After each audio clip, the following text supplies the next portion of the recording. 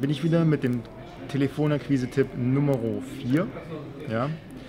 Und das ist der Punkt Intelligenz bei der Vorzimmerdame.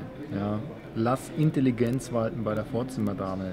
Und ich habe schon einiges, äh, also schon einige auch erlebt, ähm, Gott sei Dank die Minderheit von ähm, ja, Teleakquisiteuren auch in meinem Team, die auch teil, also nur kurzfristig Teil meines Teams waren, ja, Gott sei Dank, ähm, die gemeint haben, wenn sie an eine Sekretärin oder eine Vorzimmerdame, nennen wir es mal so, äh, treffen, sie unbedingt davon überzeugen müssten, jetzt durchgestellt zu werden.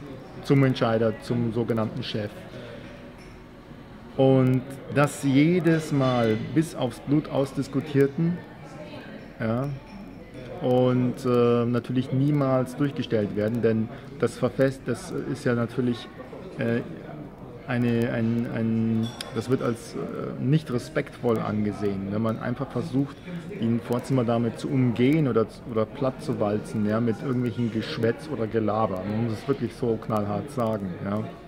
Und dann, es gab einen speziellen Fall, wo ich ähm, ja, mich immer wieder gewundert habe, dass diese Person sowieso in diesem Art Tätigkeit äh, arbeitet, der dann immer jedes Mal in einen Fight äh, sozusagen da irgendwie, ähm, der sogar gesagt hat, er würde sich dann beschweren und was weiß ich. Also das führt absolut ins, ins Nirvana, ja, die Vorzimmerdame auf irgendeine Art und Weise, ja, für dumm verkaufen zu wollen und diese mit irgendwelchen Tricks, ja, umgehen zu wollen oder, oder überwalzen zu wollen, ja, um was auch immer, sondern ja, nimm, respektiere die Vorzimmerdame, als wäre sie der Entscheider. Ja, ist mein absoluter Tipp hier.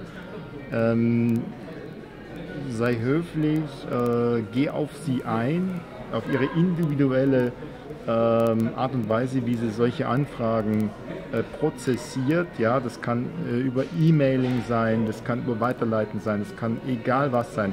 Es wird viel, viel, viel länger dauern, wie bei einer ähm, Kaltakquise, wo du oder Telefonakquise, wo du direkt zum Entscheider weitergeleitet wirst. Aber die Entscheider, die sich eine Vorzimmerdame leisten können, haben in der Regel auch viel mehr zu sagen und entsprechend auch viel ganz andere Projekte und Budgets.